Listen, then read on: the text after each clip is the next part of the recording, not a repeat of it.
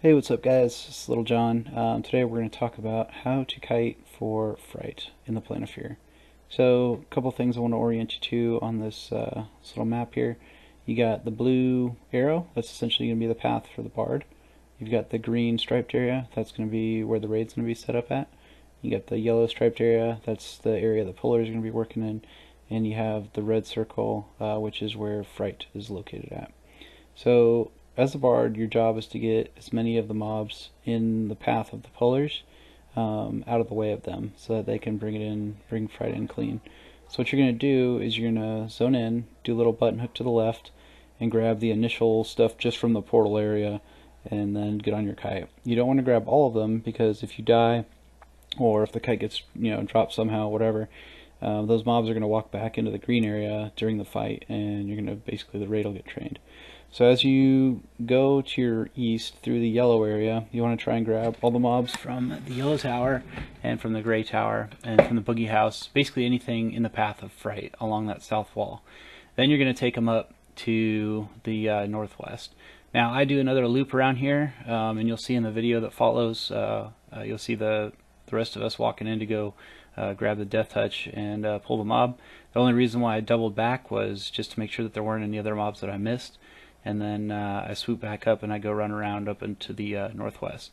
Now the video ends, but basically what you can do is once you're back up into that northwest area, just run circles uh, in uh, up in that corner, um, keep the mobs out of the the green area. Um, you just do that by keeping distance on them and keeping Selo's going, guardian rhythms, uh, and then uh, psalm of mystic shielding. Alright, so that's what you got for your path. Now let's take a look at it uh, in video.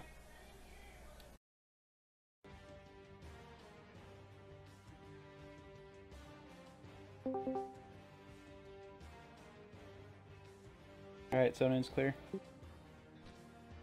What pop? Fright did. Who knows?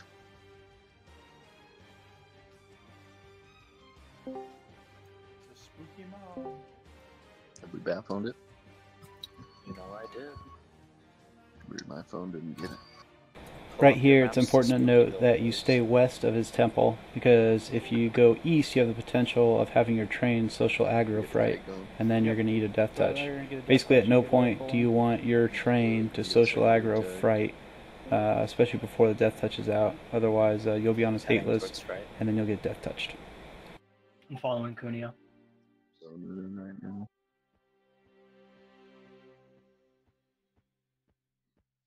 You guys got the pole covered, or should I head that way? I can go up and get it right now. Somebody's got to eat the death touch. Damn, that's one hell of a kite. Yep. Thank you, Holon. So, as you can see, there's no mobs in the way because of our first loop. So anybody can eat the Death Touch. It means a level 51 Druid can run from the portal to Fright's Temple, eat that Death Touch, then our pull team can safely bring Fright back into camp. Now, as you can see, I turn northwest, and I just continue to run up around the corners over here, just taking big circles to keep that train occupied while the pull team brings the mob into camp. You guys ready to take it? Yeah, yeah. Here it goes. Wait for a DT. It'll be instant. Told you it did. It's on Azamat. Bringing it Bring it in. westward. As I met with the baseball. Hell yeah.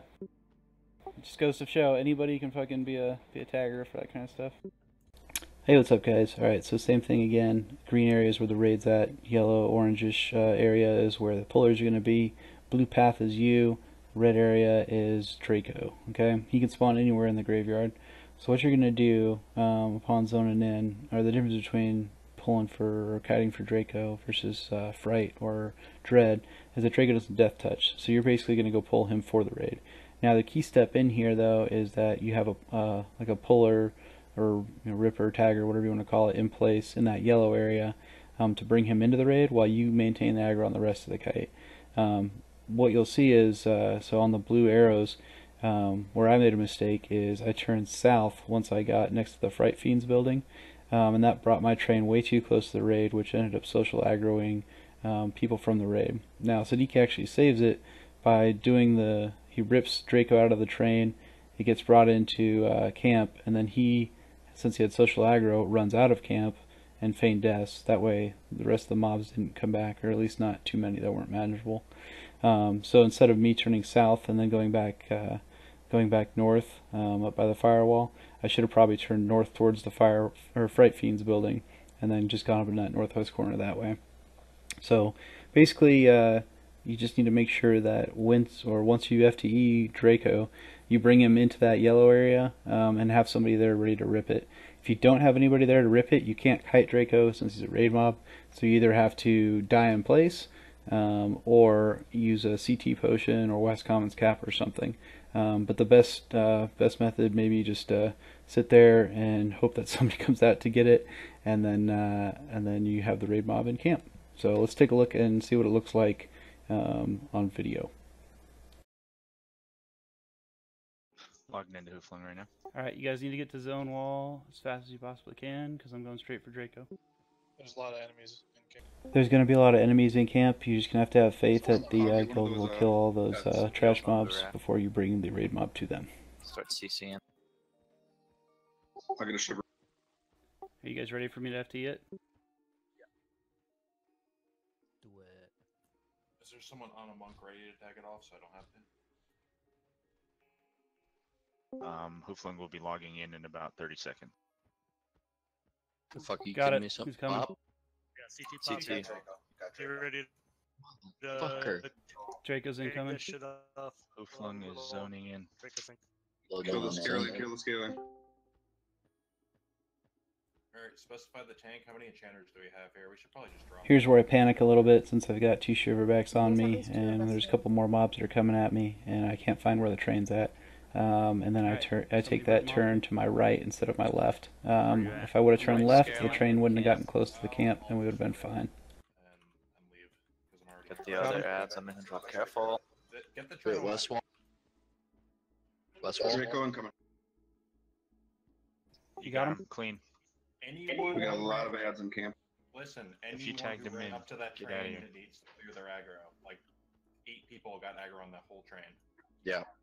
Uh, run away from camp on the backside of the What's up, guys? Alright, so same thing as before. Got the green area equals where the raid's going to be at. Yellow area is going to be where your pullers and taggers are standing.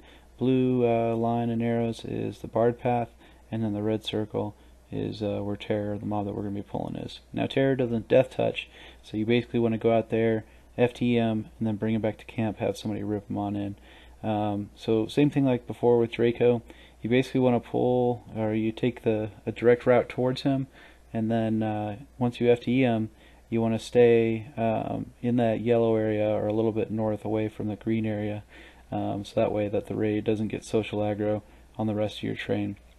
Now, what you'll see happen in the video is I go up there, you take the most direct route, you uh, you get FTE on them, you turn around and start heading back. Um, everybody's zoned in, moves to that west wall, and starts killing the, the ads that are there. Now, I probably could have taken a little bit more uh, northerly route and ended up uh, almost at that Fright Fiends building. Uh, the monks would uh, do just fine to go out there and, and grab them from that area. Was a little bit far south, but it's not as big of a deal. Basically, once uh, once that rip occurs, you just want to GTFO as fast as you possibly can up into that northwest corner, um, and then you maintain that kite up in that area. Uh, one thing to note about Terror is he does do a uh, dispel, so make sure that the raid does not have uh, charm pets for this one because he will dispel that charm. Um, so if you're very druid or chainer heavy, uh, it could wipe you. So let's take a look uh, and see how it goes down. Doyle just did.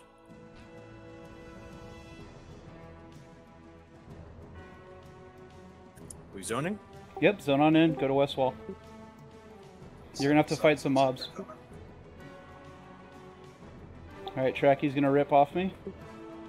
Somebody back up Tracky as well. I'll, I'll rip. Okay. We, I'm guessing Turfling's in a tank. Sure. You got FT?